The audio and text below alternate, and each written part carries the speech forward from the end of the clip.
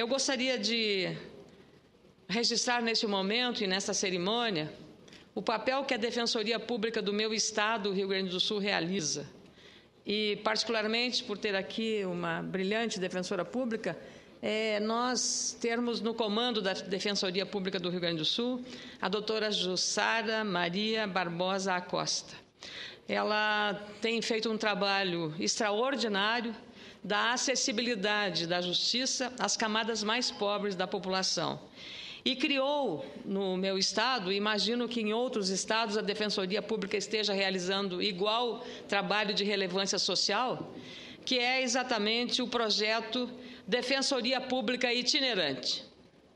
E ontem, quarta-feira, a Defensoria Pública realizou, na parte da tarde, o atendimento em mutirão de 16 famílias do bairro Força e Luz, na cidade de Passo Fundo, muito conhecida, não só pelo Teixeirinha, do, mas também pela realização da jornada de literatura que consagra aquela cidade como um dos centros culturais mais importantes, uma grande universidade e onde prospera a cultura, o desenvolvimento e as preocupações sociais. Na sexta-feira, amanhã, será a vez da realização deste mutirão da Defensoria Pública Itinerante do Rio Grande do Sul, no município de Alvorada, que fica na região metropolitana de Porto Alegre. Irá atender moradores do bairro Formosa em demandas relacionadas à regularização fundiária. Esse mutirão será realizado a partir das 8 horas e 30 minutos da manhã.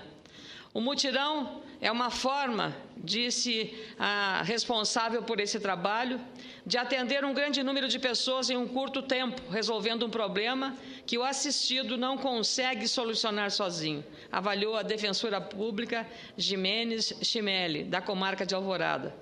Para o atendimento foram realizadas três reuniões prévias.